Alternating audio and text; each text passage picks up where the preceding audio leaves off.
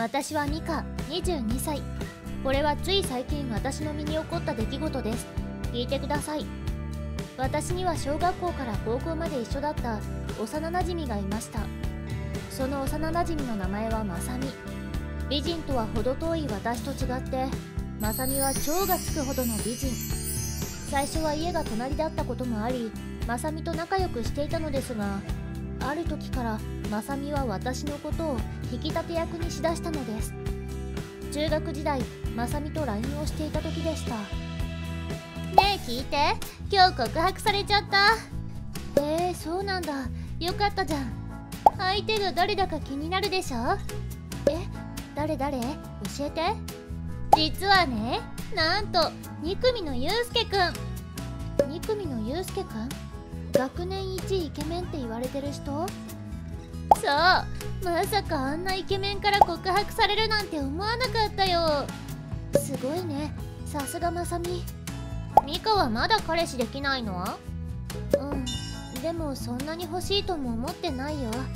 もっと痩せればいいじゃん。あでも痩せても意味ないか。顔変えないと結局無理かも。私と違ってミカは可愛くないもんね。ミカみたいな顔だったら恋愛なんてできないだろうな。まさみは美人だもんね。ミカも少しは努力したら？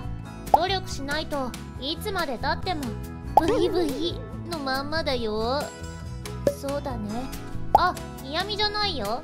ミカのために心を鬼にしてアドバイスしてあげてるんだからね。うんありがとう。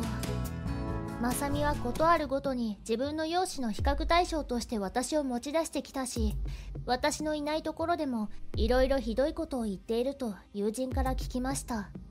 まさみはマウントを取ってくるのですがそれをあたかも嫌味じゃなくて私のために言ってるんだというノリで言ってきて正直この頃から私はうんざりしていました。家同士が仲が良かった上にまさみは大人の前では絶対に巣を出さなかったので離れたくても離れられませんでした。高校生になるとまさみのマウンティングはひどくなる一方でまさみが男友達と遊ぶ時には私を必ず連れて行くのでした。誰かみかんに男の子紹介してくれないかな？この子恥ずかしがり屋だから男の人とあんまり喋ったことがなくって。でもミカにも幸せになってもらいたいの私。まさみちゃんって優しいね。こんなに美人なのに性格もいいんだ。そんなことないない。褒めすぎだって。いやいや美人で明るいしまさみちゃんなら誰にでも紹介できるんだけどな。むしろ俺と付き合って。違うの。私のことは後でいいの。私はミカの方が心配なの俺もまさみちゃんなら自慢できるんだけどなミカちゃんだっけ？もう少しまさみちゃんをお手本にしたらどうかな。うんうん俺もそう思う。ちょっとミカは可愛いんだからこのままで十分でしょ？失礼だよ。ミカに謝って。ああごごめん。こんな場面は何度も繰り返され私はそんなマウント発言を高校卒業まで耐えなければならなかったのですしかし大学はお互いに違う大学に進学し私は一人暮らしを始めたため晴れてまさみから離れることができました。その後もたびたび見下しラインが来るもののスルーしとけばいいだけだったのでしばらくは快適に過ごすことができたのです。しかし大学も卒業間近という時まさみからお願いがあると LINE が来ました。あのさお願いがあるの何？私妊娠しちゃったんだよね。は？大学はどうするの？退学することにしたのは就職よりも結婚したいからね。そうなんだ。お腹が目立ってくる前に結婚式あげることにしたんだ。それで結婚式でミカに余興を頼みたいのよ。え私に？大学の友達に頼んだら？高校卒業してから私たち会ってないし。ミカがいるだけで盛り上がるからさ。えっといきなりすぎて今びっくりしてるからさ。ちょっと考えさせてもらってもいいかな。えー、断るなんてしないでよね。こうしてお願いしてるんだからさ。幼なじみの中でしょ。うちの両親にも言ったら賛成してたし。後で返事するから。絶対引き受けてね。まさみの結婚式で余興なんて。もちろん断ってやろうと思いました。きっと余興を頼んできたのもまさみのことだからまた私を引き立て役として使いたいという魂胆が見え見えだったからです。しかしネットで余興について調べているといいプチ仕返しを思いついたので私は出席することにしました。そして結婚式当日私は早めに会場に向かうとウェディングドレスを着たまさみが待っていました。ああミカ余興引き受けてくれてサンキュー。うん幼なじみの結婚式だからね。それにしてもなんか和人形みたいだね。というか貫禄あるおかみさん？ああ一応体型隠そうと思ってさ。そうなんだ。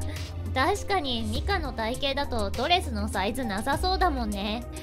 着物で正解だと思うよ。ああでもお願いだからさ私の結婚式で男あさりとかしないでよ。相手にされないから問題ないか。そんなことしないから大丈夫だよ。それよりも余興すごく考えたから楽しみにしててね。うん楽しみにしてる。披露宴で一番楽しみにしてるやつだから。うん期待してて。私はそう言って自分の席へと向かいました。まさみは相変わらず私のことを見下す発言をして笑っていました。しかし私はそんなまさみを気にせず披露宴が始まりついに私の余興の番となりました。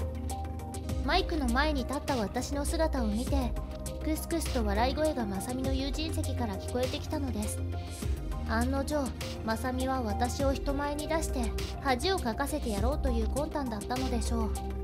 でも私は大学で合唱サークルに入っていてソロパートで歌うくらい歌には自信がありました。だからこそ私は笑い物にされていることはお構いなしに堂々と有名洋画の主題歌を歌い始めました。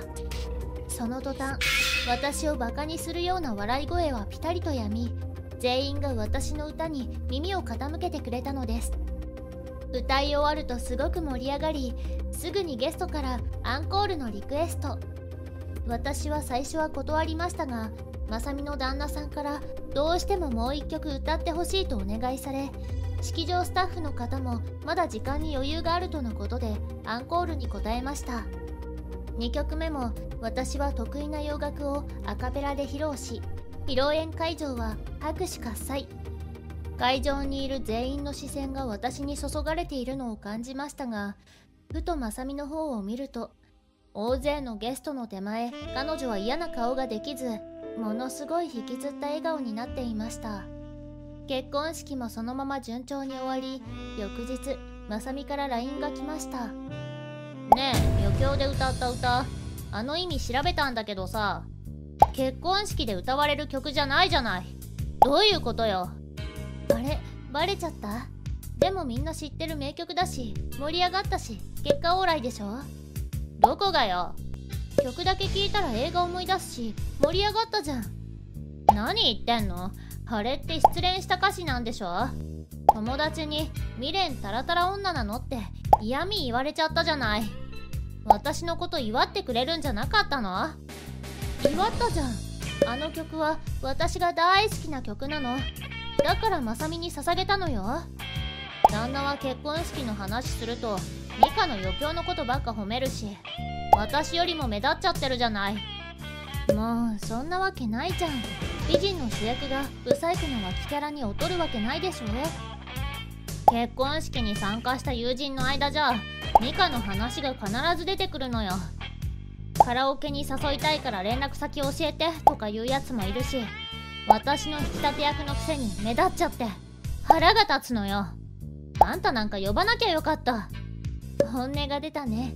余興で私が見苦しい姿を晒せば満足だったんでしょ。そうよ。おかげで結婚式が台無しになっちゃったじゃない。そう？